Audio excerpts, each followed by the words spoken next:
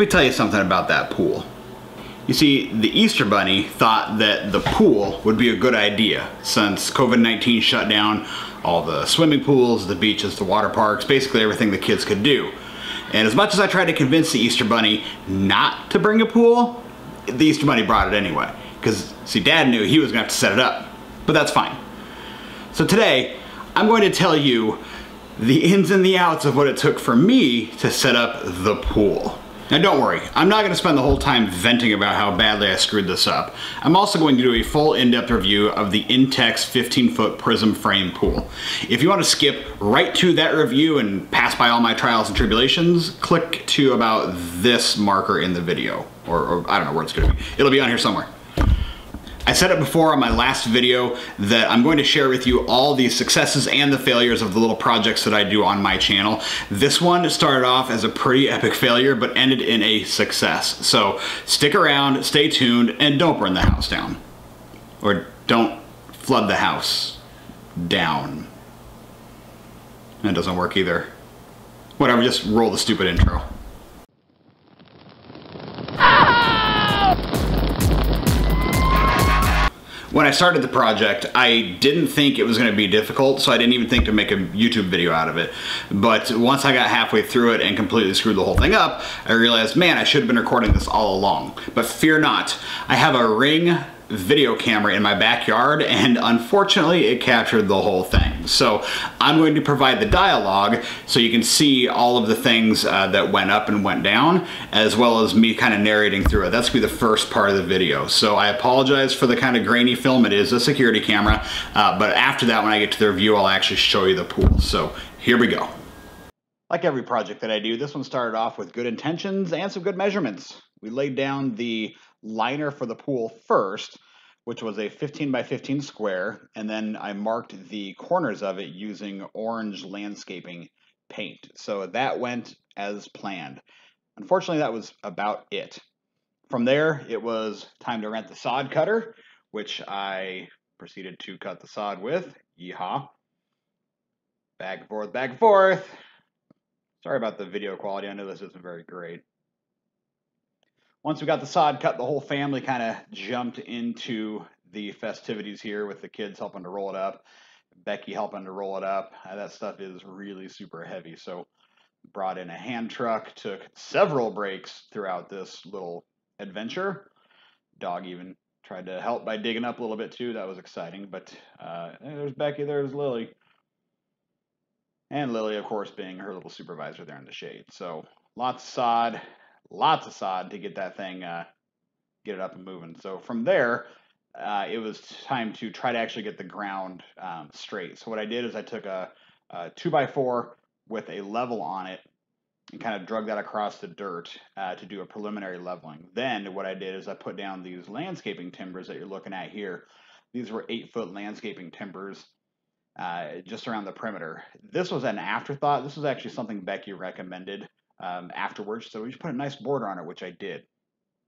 That's where uh, one of the big mistakes came in. When I laid down those landscape timbers, I put them inside the 15 by 15 square, which we had measured out, completely forgetting the fact that we marked the square to be 15 by 15. So by putting down these landscape timbers, uh, I got them all nice and level. I was pretty happy about it. And then when I went to measure, I realized, oh man, my square is now much smaller than 15 by 15. It was closer to 14 by 14 because the landscape timbers, uh, they, they took up some extra room. So you can see the 2 by 4 in the middle there. That is what I was using to measure. And uh, once I laid it down there, I thought, oh crap, I just realized that's not a big enough space now because the timbers were an afterthought. So here you see me digging up more space and bumping out the landscape timbers just a little bit further. I drove each of those into the ground using some uh, about eight inch um, rebar. So I put holes through each one of those timbers, and then I smashed the rebar down into the soil to help kind of hold those into place.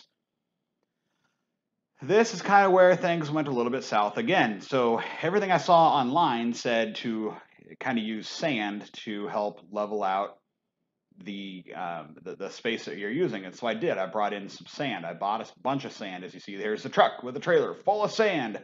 Uh, and the, the spot closest to the camera, which is also closest to the house, had probably a good six inch rise over the lower half, uh, which was away from the camera here. So as you saw me earlier with the shovel, I used that shovel to uh, kind of scrape the ground a little bit and to try to level it out. Uh, I got it as best as I thought I did, and then I started putting the sand down. What you're seeing here is I drove a stake into the middle, uh, and then I attached that 2x4 with the level tape to it, and I just literally went around in a circle with that 2x4 until it was it was level. Um, the, the problem with this is, as you can tell from this shot right here, further away from the house, there was more sand than there was hard dirt. So right here, it was nice and level, and I was pretty excited about it. We were ready to go. Let's put the pool in. So I put down the liner and started setting up the pool. This is where I made the next mistake. As you can tell, when this pool starts to go up, I did not stretch the bottom of the pool out. Um, this, unfortunately, the directions suck when you're putting these things together. So I simply thought, well, hey, if I put the frame up where I want the frame to be, and if I put the feet up where I want the feet to be, the liner is just going to fall in place as it starts to fill up with water. That's a huge no-no. That's a huge mistake because the liner will fill up where the liner is sitting. So if you look closest to the camera right now, you can see some pretty big creases and bunches in the bottom of that liner. Uh, the water did not push that out. The water instead started pooling up away from it, which was on the far end of the pool. So one tip I will give you is absolutely make sure that you stretch the bottom of that liner out 100%. Pull it out from every direction until the inside of the pool is perfectly flat on the bottom. That thing should be sitting almost exactly where you want it to sit. If you think that the water is going to just level everything out, you're absolutely wrong. You need to stretch the bottom of that liner out and have it sitting exactly where you want it to be with zero wrinkles and zero creases in the bottom of the pool. So here the time lapse is kind of showing you know more water going in it, more water going into it, and this is where I realized that there was there was a pretty big problem happening. The top of the pool looks relatively level, but it is not. Uh, and so as more water went into it, more water into it, you can actually see the crease going from left to right. Oh, hey, look, there's a there's the solar water heater. Wonder where wonder where that came from. you can go back and view the making of that. But anyways, as the water kept filling, I started to realize that this thing was starting to settle. Yep, there we go. What's happening? Why is this thing starting to sink? Well, the problem was I used too much sand in that far end of the pool to try to keep this thing level. And in the beginning, it was level, it was fine. But because the closest spot to the camera here had packed dirt, and the farthest end had somewhat packed sand, it sank. And here you can see me starting to panic because the feet of this are starting to collapse. They're starting to sink down into the sand. And I'm going to pause right here, and I'm going to show you something that uh, that really got me a little bit scared. So take a look at this, and let's point out all the things that I did horribly wrong. First and foremost, look at the bottom of the liner. The bottom of the liner, like I said, should be completely stretched out before you put any water into there. And if you look in the bottom of the pool, all of those creases and lines, those should have been stretched out so the bottom of the pool was perfectly flat. Look around the outer perimeter of the liner and you will see all the bunches, all the creases. That should also be perfectly flat. Now, take special notice of the feet of the poles and where they are resting. On the left side, there are two, maybe even three pieces of wood under each one of those. As you come to the center, there's one piece of wood. And as you go to the right, there's also two or three pieces of wood. I did this because I thought in my mind that if I kept the top of the pool frame level, the rest of it would be okay. And unfortunately, that was not the case. I had to stack 4x4s and 2x4s underneath some of the legs in order to keep that top bar level. And that is what created this thing uh, to sink. It's what caused it to sink into the ground. Let me show you another picture of that here. This picture shows a little more in depth of what I was talking about. Those are all two by sixes underneath those feet in the front. And then on the very far right, that's actually a four by four. Also make note of that white strap that runs around the liner uh, that is supposed to be sitting flush and even against the the poles as well as the bladder itself. And you can tell here that it is very much bunched up towards the top. There's a lot of wrinkles in it. There's creases in it. And on that kind of right leg, it's actually folded over a little bit. This is the back end of the pool. Now that's actually a 4x4 on top of a 2x6 holding up that leg. This is also started to walk itself out uh, because of the fact that I didn't have the liner stretched out all the way in the beginning. The water, it wanted to flow downhill, and it did. And so it went downhill, it compressed in the sand, and it started to really put a lot of pressure on this leg right here. You can tell by the fact that going from top to bottom, that leg is leaning in towards the pool and to the right. It started to walk itself out as the pool filled up more, but unfortunately it got stuck on that landscape timber at the bottom and had nowhere else to go if we would have jumped into the pool at this point, uh, the waves would have started crashing and started uh, thrashing around. This leg likely would have buckled under completely, and we would have had a catastrophic failure of the pool. It would have completely collapsed. This is uh, where I realized, oh man, I've screwed this up, and I need to fix it. So fix it is pretty much what we did. The more I looked at the pool, the more I realized that yeah, this thing wasn't gonna, it wasn't gonna stay up, and it wasn't gonna be safe for the kids to swim in. Here I'm explaining to Becky this is how badly I screwed up and where I failed. So if you look at the top part of the pool, you see something submerged in the water, a little black thing. That's actually a pump uh, that I'll put a link to in the description below. I hooked it up to four garden hoses. I strung it out into the driveway and I let it run. I unfortunately didn't have anywhere that I wanted to put 4,400 gallons of water, so down into the street it went. I ran that thing day and night for about uh, a day and a half straight. Finally, it got to the point where the water was out. So then it was on to deconstructing the pool frame, uh, taking the liner down all the way. There was still a little bit of water left in there, so I had to kind of finagle that thing a little bit. Uh, you see me folding it up here, kind of uh, rolling it up, creasing it, dumping out the rest of the water. There was still probably a good 100 gallons of water in there, but I got that out, and then it was on to doing the groundwork all over again. And what I did here is what I really should have done the first time. So I removed the landscape timber so I could re-level it, and then I started digging out the sand. I took as much of the sand out as I could so that I was down to the solid dirt, and then I brought in actual black dirt. My neighbor, who is a saint, uh, let me borrow his tractor, so we went down to the landfill where they always have free black dirt. He let me borrow his trailer, so we loaded up the trailer full of black dirt and we brought it in and shovel after shovel after shovel after painstaking shovel, several breaks in the in between. Uh, we got the dirt out. I tried the best I could to spread it evenly while I was shoveling it off of the trailer, uh, uh, concentrating more on that farther end. You know, Becky got in on the action here as well, helping to get out the remainder of the dirt and help clean up the trailer while I was inside chilling out for a bit. And then I got the rototiller this uh, helped break up some of the black dirt that I had gotten from the landfill. There was a lot of huge chunks in there, and I didn't want to try to stamp that down at all. So I rented the rototiller. I tilled the ground so that it'd be nice and soft, uh, and then I got out the big shovel, uh, and I, I got the 2x4 with the level on top of it. Started leveling again. Once I got it to the point where I was pretty comfortable with how level it was, I rented a sod roller you see here. I filled it up with water. Uh, it got super heavy when you fill them up with water, and then I rolled it back and forth across the dirt, uh, compacting it and leveling it. And then it was on to just literally dragging that 2x4 across it. And uh, if I had a spot that wasn't level, you grab the rake and you rake it out. You go from the high side to the low side and you uh, smooth it out and then you roll it again. And I did this process for several hours.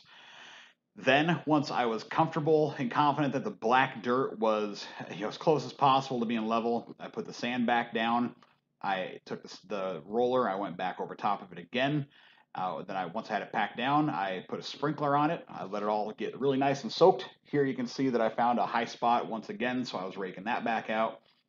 I was confident that that entire slab was within about an inch to an inch and a half in every spot. So I said, okay, we're going to put the pool back up now, and we're going to do it the right way. I committed to myself that I was only going to do one piece of wood under each footing, and that was just so that it wouldn't sink into the ground as the water pressure um, started to build some weight on there. Now look at the bottom of that liner. Doesn't that look better? It's all stretched out. It's nice and uniform. I know where it's going to expand to uh, because it's already stretched out as far as it needs to be. Uh, so from then on, it was filling up water. And as the water filled up the pool, there were no surprises. Go figure. Uh, it, it obviously expands outwards, but it doesn't get crazy uh, in its expansion because you already have the liner stretched out. You know where it's going to expand to. Look at the white band going across the bottom as well. It's nice and uniform, it's nice and even. That is a safe pool. And I'm marveling at my accomplishment. Look at that level. It's so great. So after all that, there's two things you need to understand before you get an above ground pool. First and foremost, you're going to have to put work in to make sure your ground is level. And I mean really level. If you have to bring in dirt or remove dirt, get it done right the first time or you're gonna have to put the pool up and take it down and put it back up and take it back down and you're gonna waste a ton of time, a lot of heartache, and a lot of water in the process. Level that ground out perfectly. The second thing, as you're about to see, if you want your pool to run as well as it should, you're gonna have to buy a lot of additional parts. So don't think that your investment stops when you just buy the pool and that's it. Before you get into something like this, price out the additional materials that you're going to need to actually get it up and running. It's gonna be a lot more than just the pool itself. So let me talk to you about those right now. Here is the final setup of the pool after everything was set up and the ground is leveled as best we can. There's still about an inch and a half off level uh, within the pool itself from the left side being the low side to the right side being the high side. Try as I may and try as I might, I just couldn't get it to be perfect. The manual and everything you read about these pools says that they can be about two to two and a half inches off level comfortably before you start noticing any real problems and anything over three inches needs to be corrected or you may be looking at a structural collapse of the pool. And that's fine. Inch and a half for me aside from being a little bit cosmetic is not uh, showing anything that's going to have any sort of wear and tear problems on the pool. So that's the final setup. And now I'm going to actually give you my list of pros and cons for the pool and do a full in-depth review of the Intex 15 foot prism frame pool the first pro I'm going to list is the size. At 15 feet, this pool is perfect for us. We've had 11 people in here at one time, and obviously you're not going to be swimming laps or, or, deep diving for anything, but that's just perfect for us to be able to float around, just kind of have some fun in there, and it's just deep enough at 48 inches that my youngest five-year-old daughter can touch eventually we might go a little bit wider and maybe deeper as the kids get older but for right now it's perfect for us. So 15 feet across seems like it's kind of the sweet spot. It's also around 4400 gallons so when I go to uh, fill it and drain it it's not going to completely break the bank on water even though that's still a pretty significant amount the second pro is the actual construction of the pool. It's really easy to take down and put up as these poles just simply slide into the coupling here. Uh, you go, the leg goes in, the sides go in, and then you pull the whole thing up. It's easy for one person to do. Uh, just make sure obviously you put the legs inside the bands like shown here but I've done it myself twice now uh, it's very easy to set up it's very easy to take down also, on some of the older models, I know that they actually had holes in these where you had to but put screws in there to hold each one of these things in place. I'm not sure what they changed with the design, but this is extremely firm and it is not going anywhere. So very easy setup, very easy takedown, and surprisingly, it's incredibly sturdy. When the kids are in it and it's rocking, man, this whole thing will shake. The whole entire thing will kind of move and rock and sway, uh, but that's what it's designed to do. It's designed to move as the water moves. And uh, it's kind of unnerving at first but that's exactly how it's built. So the, the the physics of how the pool works and how it kind of pushes out against the the poles and how this kind of belly band keeps everything in place it works really well. And especially for the price point on these things uh, the design of the pool is definitely a, a positive the third pro I will list about the pool is the included accessories that come with it. Now this is also going to be one of my cons, but I do appreciate the fact that they include a uh, filter, a cartridge filter, uh, pool pump, they include this top cover. Now this is just a debris cover, it's not a solar cover, uh, but we put it on to keep the, the crud out of the pool every single night. It comes with the pool, it comes with the legs, it literally comes with everything you will need to get the pool set up and running with nothing else really additional that you need to buy unless you want to. I'm gonna cover the things that I did buy additionally for the pool, but straight out of the box, you can set this thing up and be swimming tomorrow. It's a, it's a pretty good setup. Uh, the final big pro I have about this pool is the thickness and strength of the liner. you would think that you know, just a piece of, of fabric or whatever you want to call this wouldn't be able to be as strong as this is, but man, this is actually really, really sturdy. Uh, when the kids are kicking off the walls of this, you'll see their feet come pushing through the side. And I suppose for holding 4,000 gallons of water, you're gonna want this thing to be pretty thick and pretty sturdy, but this liner feels like if you don't actually hit it with something sharp, you're just not gonna break through it. And, and like I said, that's, that's probably supposed to be the whole point of having a bladder pool like this, but I was really impressed with just the, the durability of this, and I, and I truly think it's gonna hold up for several years worth of usage, just so long as we take care of it.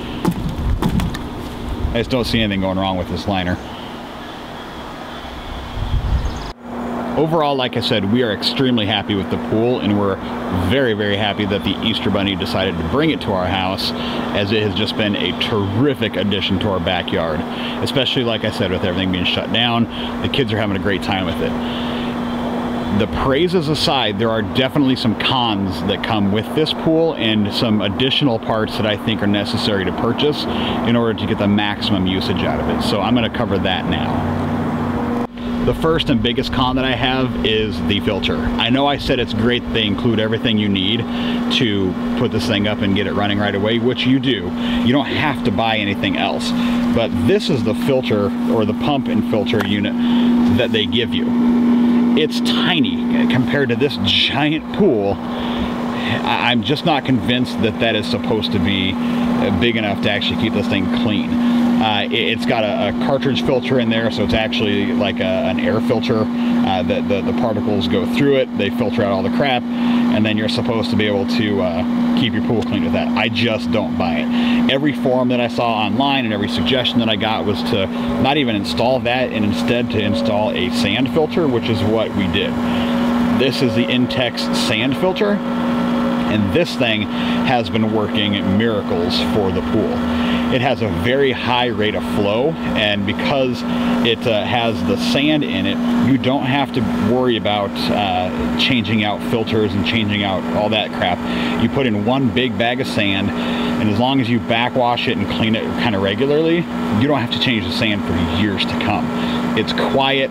It only uses uh, about, as, I think, about 150 watts to run. Uh, maybe it's closer to 200 watts but we leave this thing running for 12 hours a day we split up between six hour or uh, six hours and six hour increments and it does a terrific job of cleaning out the pool so um, con number one don't use the little pump that comes with it if you can help it upgrade yourself to a sand pump. And unfortunately this is where the cost starts to add up because if you truly want this pool to operate at its maximum potential you do need to get a couple of different things. So step number one is the sand pump.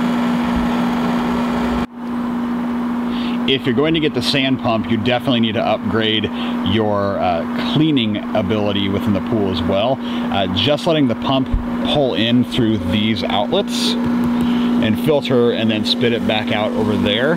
For us didn't do the it didn't do the job didn't do the trick. So I added a Hayward skimmer uh, and you can see these online pretty much everywhere. Um, the skimmer you do have to cut a hole in the side of the pool, which can be very unnerving, uh, putting a hole through this nice, beautiful liner that I talked about.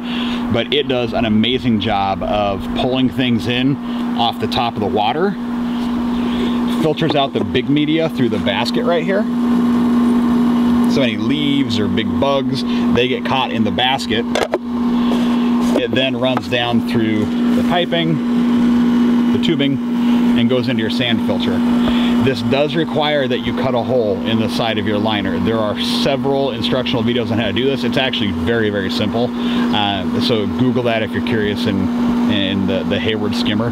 I did prop it up with a 2x4 and my reason for that is and this is another con, being a liner that this is, you don't want to hang anything off of anything of weight. I, I just have a hard time believing that that's going to be good for this, to have the weight of this guy just hanging off the liner. So I just propped up a 2x4 underneath it. Uh, and that keeps the, the skimmer level, uh, so it's not tilted back, and it, it, keeps it doing its job. And I also believe that that's probably going to help increase the longevity of that liner. So it may not be the most cosmetic thing on the planet, but it absolutely works. Now on that same vein, the way the sand filter set up, I also put a board down here just to keep the, the sand filter kind of upright. It, it, I don't know why they would design it with this big part hanging off. It, it starts to kind of pull down a little bit, but uh, I just put a board down there to help prop that up and uh, it kind of fixed that problem. Since you've already cut one hole in the wall with the skimmer, you also need to expand the hole where the water return comes in if you do happen to go with that sand filter. The tubing, I don't know what the exact dimensions are, but the tubing for the original uh, skimmer and the original pump, it's a lot smaller than this tubing, so you do have to expand this hole as well if you choose to um, add the sand pump. I kind of rigged up a little string here just to keep the weight off of this, similar to what I did over there with the 2x4. When this doesn't have the string, it just tends to kind of pull down a little bit, and uh, it doesn't seem like it hurts the liner, but I just can't think that that's going to be good for it in the long run. So anything, uh, anything you can do to kind of keep the weight off of that liner, I think is probably a good addition to the pool. One other really nice feature about the skimmer is that it comes with this attachment for a uh, pool vacuum. And what you do is you just take the lid off the skimmer here, take out the basket, and then you drop this down into there. That allows you to hook up the hose for your pool vacuum, which I've got over here, just your basic pool vacuum with about 20 feet of hose and that allows you to scrub the walls of the pool and then to uh, suck up all the debris that falls to the bottom of the pool that maybe the skimmer didn't quite catch. So that's something I do every couple of days or depending upon how dirty the pool gets, maybe a little sooner than that. But uh, that's another really nice feature of that skimmer and that pump uh, combination. The last con I have about this pool is the ladder that comes with it. And man, this thing does not feel sturdy for me. The instructions say it will accommodate up to a 300 pound person. I'm not 300 pounds, but I am a bigger guy. And whenever I use this to climb over the wall of the pool, it just feels like it's gonna collapse underneath me at any time. The kids don't have any problem, obviously they're small, but this thing does not feel like it would accommodate a 300 pound person. And I'm, I actually think it's actually bent a little bit since we've been using it because you can see it's got a pretty good wobble to it. And uh, it's it's assembled fully. It's it's how it's supposed to be. So it's just not a very sturdy ladder. And unfortunately I have not been able to find a good replacement ladder online uh, anywhere. So if anybody has a good suggestion for a ladder that they use instead of the Intex one out of the box please feel free to drop that in the comments below. I'd be very interested in that one little thing I'd like to show you about my setup, and obviously this isn't a pro or con about the pool, but I have uh, two things that need powered over there. I've got the sand pump and then I've got the solar heater kind of in the background there. And I didn't want to just have unguarded draped extension cords plugged in 24-7, so I do have obviously the cords running through the yard there. But what I did is I ran one extension cord from the house, and then I bought a Rubbermaid deck box this is where I store all the chemicals, all the pool supplies, etc., etc. But I cut a little notch in each corner of the deck box, or, or each side, to run the wires in, and then a little notch over here to run the wires out. It's a little bit messy in here, so don't judge me, but down there in the bottom, I have two TP-Link switches, and I've shown these in my videos before. One for the sand filter and one for the uh, solar heater pump. This gives me the ability to set programmable uh, routines. So every day I have the solar pump turn on about 9 a.m. That's when the sun is coming up in the sky. And then I have it shut off about 6 o'clock because that's when the sun kind of goes away. I also have the sand pump set up on a timer that way so that I can turn it on for six hours in the morning, six hours in the evening. They turn on, they turn off, I don't have to worry about it. They're app controlled, so if it's a super sunny day, I can just shut the solar heater off entirely.